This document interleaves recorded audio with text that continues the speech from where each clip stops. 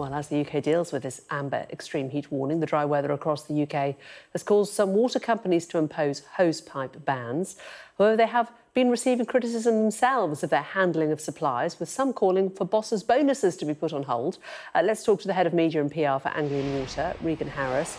Um, uh, Regan, your boss got 3.5 million pounds in bonuses recently, uh, yet your company's been fined three times for polluting in the last year. Why are they worth the money? Well, I mean, it's not really for me to comment on exec remuner- remuneration. Well, um, you are here representing the company on a day when these events... Um, that um, deals with peer-to-peer reviews. What I can say is that our company performance is directly linked to chief exec bonus and bonuses across our senior management, and those have been significantly reduced this year because we recognise that our performance wasn't where it needed to be. Mm. But it reduced, but still 3.5 million pounds. Most people looking at those figures will say that's an extraordinary figure for uh, a water company to be giving to its bosses when, when you appear to still be polluting rivers and, and killing fish.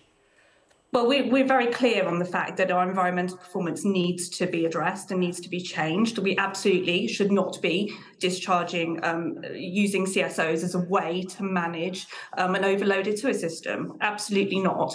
But the, the um, uh, bonuses of our chief exec reflected other areas where we were leading the industry, like tackling leakage, for example. Um, but where we knew that environmental performance was not where we wanted it to be, that's where we saw exec pay across the board cut this year year. Um, and our focus now is very much on dealing with the job at hand, which is keeping taps running um, during unprecedented re- weather. Um, we've seen the driest eight months since 1976. And as a water company, we're you know we're doing a good job at that. Um, we have not Im- implemented any hosepipe bans as yet, and nor do we forecast the need to this summer.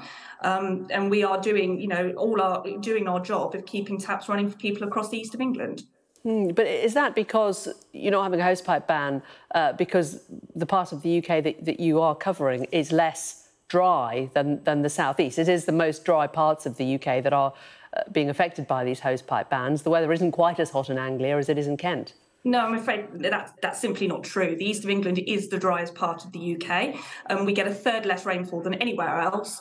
Um, but we are incredibly resilient. We are prepared to deal with dry, hot, dry, hot summers, um, and we have created, invested um, millions of pounds into resilience over the last 30 years to make sure we've got the infrastructure in place to deal with dry, hot summers. And that's exactly what we do. We're very agile at moving water around, storing water where we need it most, but also we recognise the need to, to invest now for the future.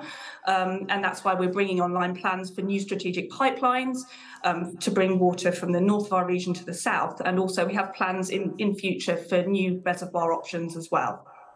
Uh, what about leakage? You, are obviously very keen to, to talk about successes you, have had in terms of leakage, but Ofwat wants water companies to try to reduce their leakage by 16%. The latest figures for Anglian Water show that you've managed to reduce it by 6.1%. That's nowhere near what Ofwat are hoping you would do. Well, actually, the targets that Ofwat set us for last year alone, we've exceeded those in that 6%. Um, we're already the best water company in the industry when it comes to tackling low leakage. Um, and we've got the lowest by more than half compared to the rest of any other water companies. Um, but we know we need to go further. Um, but currently, we're actually, you know, overtaking other European countries in terms of driving down leakage to be world world leaders in low leakage. So we know we need to go further, but we made a decision over a decade ago to go beyond what our regulators asked us to do, and that's why we're, you know, quite simply the best in the industry at driving down leakage. But it, locally, there are huge issues, aren't there? I, I, was seeing that, you know, one local MP has, has called bosses at Anglian Water diabolical, uh, and that was just uh, in the last couple of months because of sewer, the sewer saga and, and Boston Road South and Holbeach. There are a, a number of local issues that, that clearly local people would like to see the company doing a great deal more on. And we're absolutely committed to doing that. Um, you know, there have been local issues, just as I'm sure lo- lots of other water companies have seen during the, the, prolonged dry weather, where we have had, you know, pipes bursting because of dry ground conditions. Um, and, you know, things have been difficult for, you know, the last few months. But we've got more teams than ever out on the ground, finding leaks, fixing leaks, um, managing our water resources to make sure we can keep up with demand. And as I said, the most important thing as well is not just demand for today and tomorrow but for next summer as well.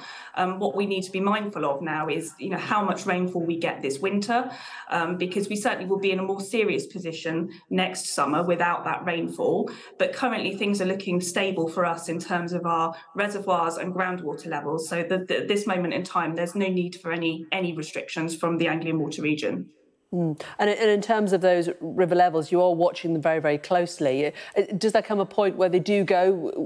What is the trigger point at which point you will say, hang on, they have now got so low, we are going to have to start bringing in other measures? Well, this this is all based on our drought plans, which we agree as water companies with the Environment Agency. Um, they are based on science and monitoring, and you know prolonged predictions for water resources across our region. And we're absolutely committed to following that as a process, um, working with the Environment Agency, monitoring river levels and storage levels across the region. Um, you know, and people should you know be assured that when we reach those trigger points where we might need to implement such stuff the next year or you know next spring and summer, then we'll absolutely do that if that's the right thing to do to protect the environment. But we're certainly not there at the moment. Um, and that's really testament to the investments we've made for resilient infrastructure and just being good at moving water successfully around our region to where it's needed most. Regan Harris uh, from Anglian Water. Good to talk to you. Thanks very much for joining us today.